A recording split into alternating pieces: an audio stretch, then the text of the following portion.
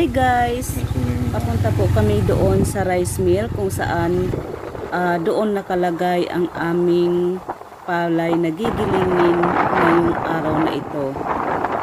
Tapos ipapakita ko rin sa inyo ang ganda ng view dito sa harap ng rice mill. Yan po yung bundok na yan. Yan po yung ah, pinakamataas na bundok dito sa Sambales, ang Mount Tapulaw. So guys, nandito na po kami.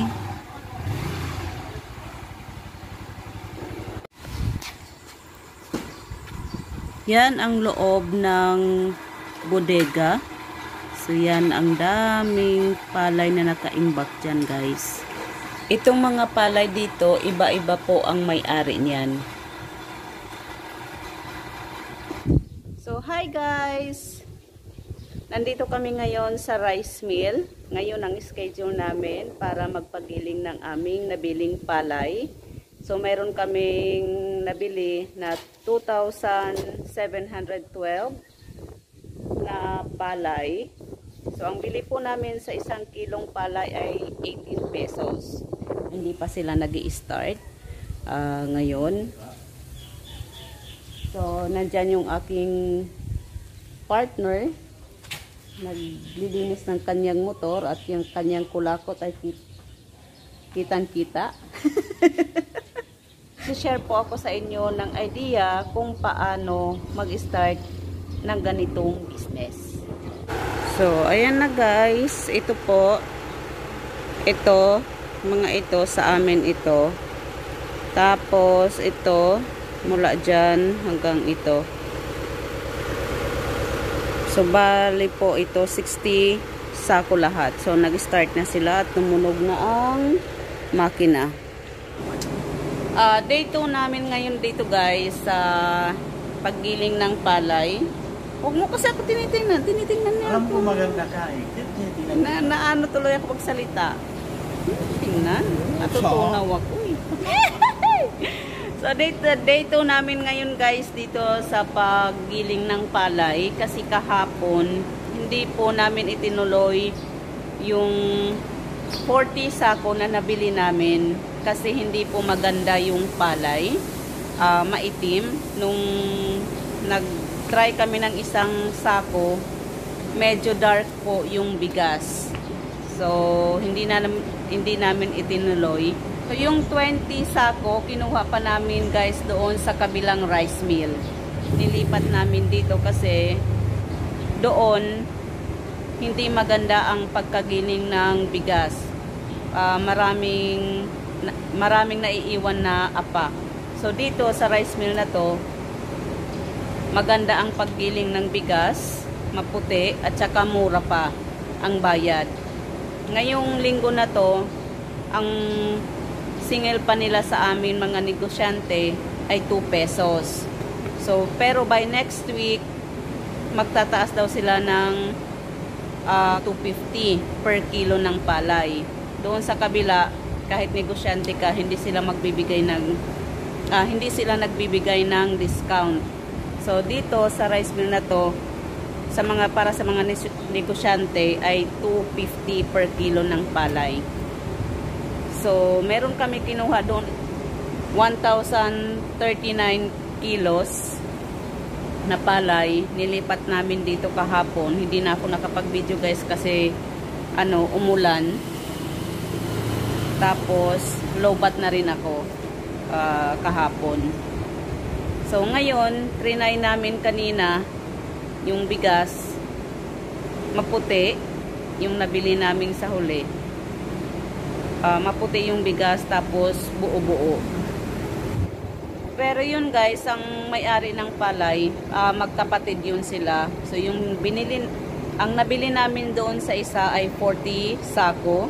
Doon sa isa ay 20 na sako ng palay. Kaya lang yung isa, yung mara, uh, yung 40 sako siguro naabutan yun ng ulan, na naulanan siya. Kaya maitim ang palay. So ito guys, lahat po yan, 40 sako. Yan po yung nabili naming palay na hindi maganda.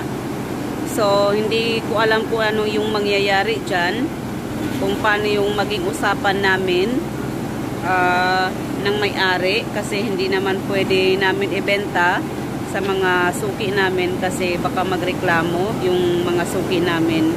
Uh, kami naman ang mawalan ng suki.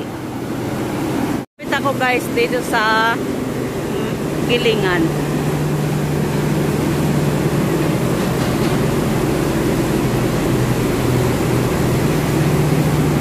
ito na yung bigas namin ito na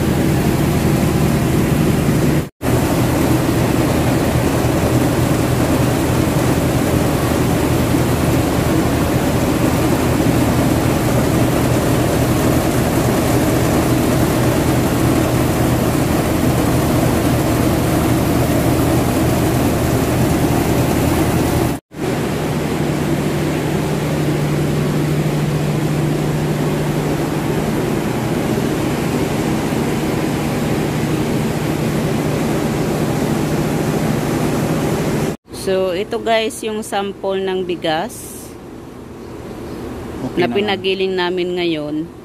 So, okay naman siya.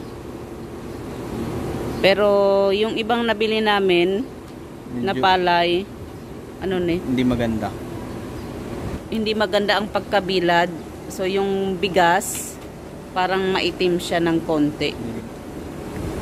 So, hindi naman ako expert masyado sa ano, sa pagtingin ng bigas pero itong asawa ko ang marunong na kasi matagal na yung business nila ganito. Ito na guys. Tapos na po kami nagpagiling ng aming palay. Ang naipagiling naming palay ngayong araw na to ay 1039 kilos. So lumabas po sa bigas ay 24 sako at 14 kilos So, bawat sako po yan ay naglalaman ng 25 kilos. Tapos, meron din po darak, limang sako, tapos meron din siyang butal na 25 kilo. So, bawat sako ng darak ay 30, uh, 30 kilos guys. Tapos, yung binlid, meron po siya 16 kilo naman. So, yan guys, lumabas lahat ang aming ipinagiling palay ngayon uh, na 1,039 kilos. Ang benta namin guys sa bigas, ang 25 kilos na yan ay 900 pesos. Tapos, ang benta namin sa darak, ang 30 kilos ay 400 pesos. Tapos, sa binlid, 15 pesos per kilo. Tapos yung darak at saka binlid, hindi pa kami nakaalis dyan sa rice mill, ay binili na po nila yung darak para ipakain nila sa kanilang mga alagang hayop katulad ng ah, baboy, manok. So ayan. So yung limang sako na darak at 25 kilos, tapos yung binlid na 16 kilos, ay nabenta na po namin kaagad dyan pa lang. Yung mga bigas namin pala guys, meron kaming regular na customer, lima sila. Bawat isa sa kanila ay sampung sako na tig 25 kilos ang kinukuha nila sa amin. Linggo-linggo po yon. Itong naipagiling namin ngayong araw guys, kulang na kulang po ito para sa limang customer pa lang namin. Dapat sana sabay-sabay namin ipagiling yung 60 sako na palay para ma-provide namin yung kailangan ng customer. Ah, yun lang, nagka problema lang kami doon sa 40 na sako na hindi maganda. So yan guys, hakutin muna namin sa bahay yung aming bigas. So doon meron pang naiwan na apat saka 14 kilo. Dito guys, sa Okay. last part ng aking video, tingnan niyo po kung magkano ang aking puhunan at kung magkano ang aking kinita ngayong araw na to. Ito guys, ang lahat ng ginastos ko dito sa palay. Noong maging bigas na siya guys, ito na ang ikinilabasan, 59% ang recovery okay. So ang kinita ko ngayong araw guys, 3,556.5.